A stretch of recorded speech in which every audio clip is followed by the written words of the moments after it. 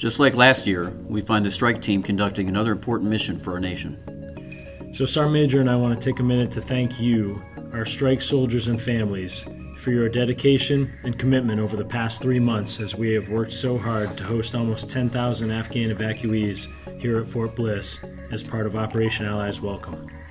We're housing and feeding our guests in a village that didn't even exist before this mission, and we're ensuring that our guests, interagency teammates, and our soldiers have a safe and healthy environment while we assist our guests with their immigration processing.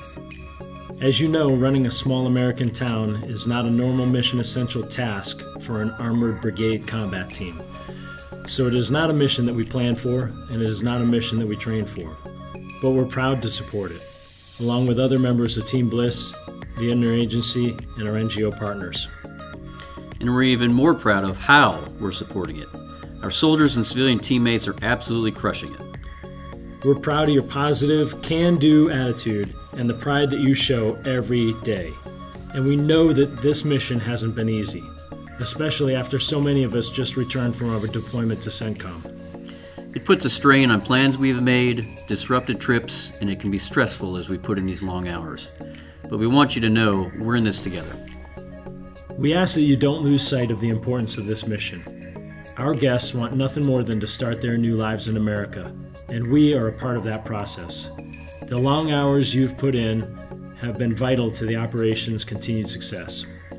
We're making a difference out here. It may not always feel like it, but I promise you that this mission and your daily actions are changing lives for the better in ways we cannot foresee. America is and always has been a land of opportunity, and we are a land made up largely of immigrants. Our guests are excited to start their new lives in America. I'm proud that we're able to be a part of their journey, and you should be too.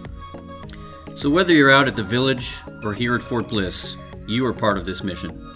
What you do matters. So, we ask that every member of the team continue to be patient, be polite, be professional, look out for one another, and as always, own it. Stay strong. We'll get back to business soon. So, from the 2nd Armored Brigade Combat Team, Strike hard.